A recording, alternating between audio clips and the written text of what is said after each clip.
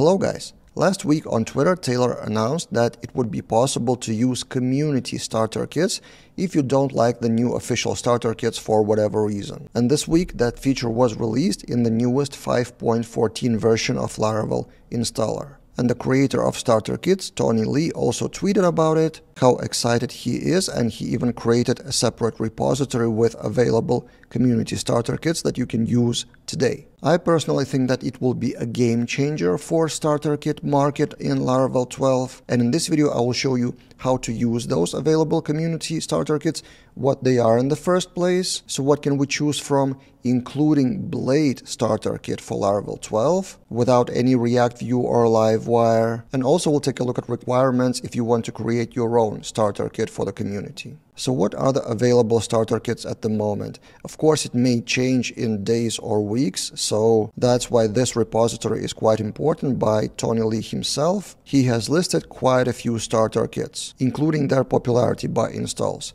So if we skip those more popular ones that existed before, I've tried a few. So for example, there's Toll Starter by Morten Bak here, and if you want to use it, all you need to do is provide the using parameter to Laravel installer. So if we try a new project using that repository, here's what happens. So typical installation, like it would be in Composer or Laravel new, nothing really fancy here, but this starter kit then asks question for super admin. So inside of its composer scripts, by default, it launches this PHP Artisan app create super admin, which is outside of the default Laravel or starter kits. So I've created that admin and let's see what happens. Also, we agree the npm commands, which probably comes from the starter kit from Laravel by default, and that's it. Now, if I launch the homepage, it is this. So it's not the same as Laravel Starter Kit. We click register, and this is from what I remember one of the auth layouts of the new starter kits.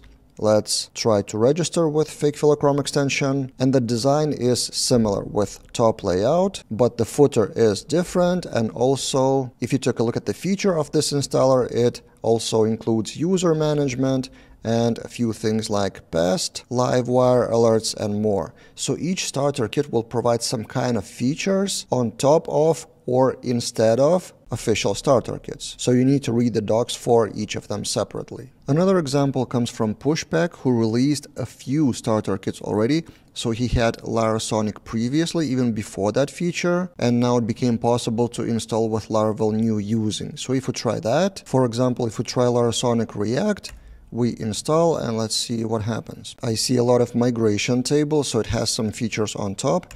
npm install yes. So I see it has teams and subscriptions. This is interesting. And this is where I get the error that something was wrong with React versions. Okay, so this is the thing. With community starter kits, you rely on those community members to update their starter kits and make it work. Out of curiosity, I've tried Larasonic Vue, and this seems to be successful. Let's launch the page, and wow, the homepage design is totally different with a lot of things here.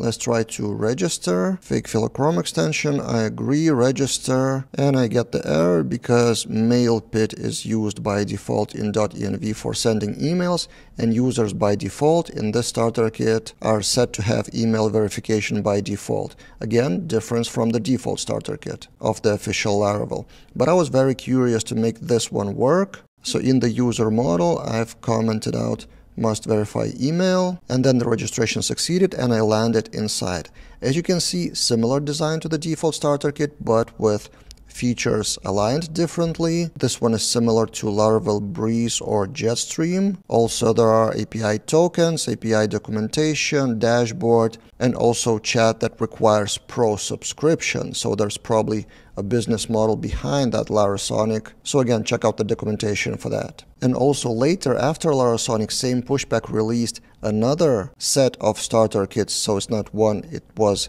3 just released a bit later, Vue React and Livewire with these features on top of the default starter kits. So it didn't change any features of starter kits, it just added more. And another starter kit I will demonstrate which probably impressed me the most is Blade starter kit. Let's see what Christian Taylor has built for us. Again, we're launching Laravel new using this starter kit and let's see what happens. Default database tables, yes for npm, and that's it. And if we launch the page, we see the default Laravel 12 with login and register. Register looks similar to the new starter kits, when we fill that in and create account, we land on a dashboard that looks like default Laravel starter kit, right? But now let's take a look at the code. If we go to Composer JSON, do you see any Livewire or Flux? I don't. If we take a look at package JSON, do you see any React or Vue? I don't. And if we take a look at the code of sidebar here for navigation, this is the sidebar blade file, which has X sidebar X everything and no Flux, no React and TypeScript. So what Christian did was recreated the same design or very similar design with just Blade. In my opinion, very impressive. And in my opinion, this is kind of exactly what some community members wanted, just a starter kit without Livewire, Vue, or React dependencies. Of course, I didn't dig deeper, so I cannot really guarantee that this starter kit works and looks exactly the same, but my first impression is very positive. You should try it out. So you get the idea, Laravel new and then choose the starter kit.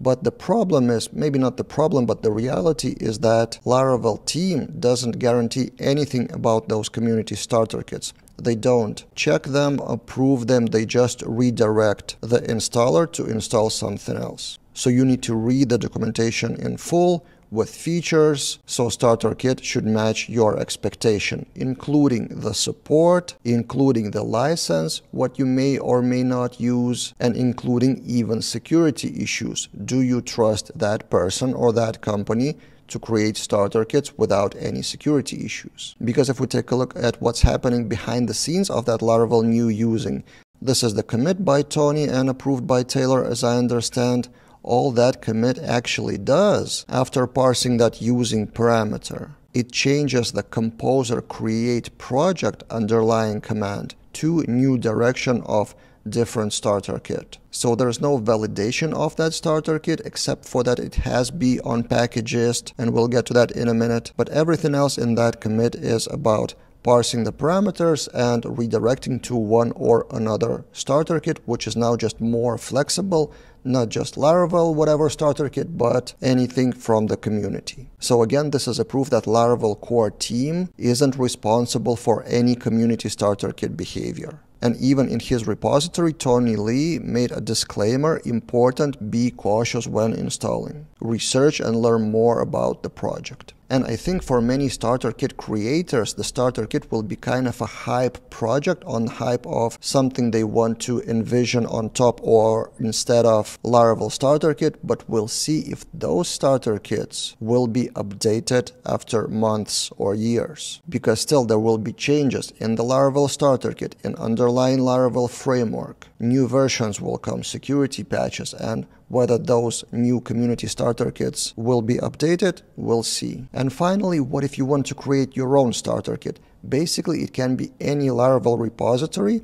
So Tony Lea explained it on Twitter. It should be a Laravel application, not a package. Also, you should add post create project command with example of React Starter Kit in your Composer JSON and also add your project to Packagist. Basically, that's it. So you can create your own starter kit with whatever features you want. It may not even include auth, as I understand. It may be just homepage starter kit, API starter kit, or whatever you want. The word starter kit doesn't include any features, any requirements. Laravel starter kit. What features are inside, now it's your decision. So with all that overview, do you have any favorite starter kits that you will use?